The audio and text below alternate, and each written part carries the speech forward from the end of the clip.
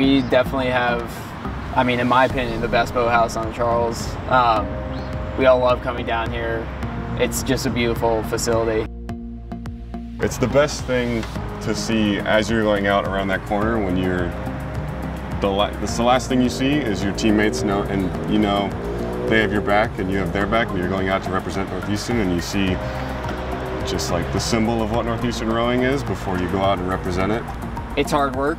It's dedication. I mean, everyone has each other's backs. Um, we we really put ourselves in the pain cave and like we can respect each other because of it and we've gotten really close because of that we see each other in our most painful states so um, it's it's awesome to have each other's backs and like everyone is on the same page we have everything we really need for rowing uh, we have weights we have the nicest boats that you can get so um, you know we're all excited every day to come down and visit this like beautiful piece of architecture, really. To me, these facilities are kind of like a second home to me. I know usually when you're away, you consider you know your dormitory or your apartment your second home. But for me, ever since I came to Northeastern, I, I just never really went home. I think I've been at home a total of a month in the past three years.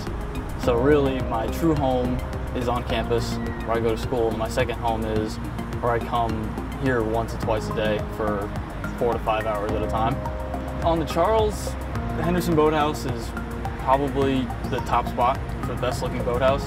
You know, we have a beautiful spot on the Charles. The Charles is one of the most famous and beautiful rivers in America. So, um, you know, I just love coming down here um, as much as possible.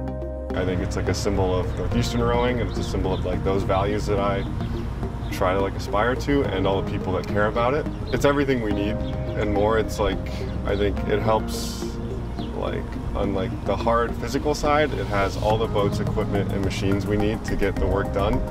And then on I think like a mental side of like we have our space off campus that is like our dojo and no one can like take it from us no one can interfere with us while we're at work. So if and it allows a time i think it being away from campus is a net positive because on the switch from your day-to-day life to practice, you have either like a 20, 20-ish minute, 30-ish minute bus ride, or like a bike or your car where you get to prepare for the practice and push everything else aside and clear your mind to get to whatever uh, is in store for practice. Northeastern rowing is the best there is because the guys on this team, they know what it takes to get it done and they know how to put in the work that is truly deserving of that number one spot.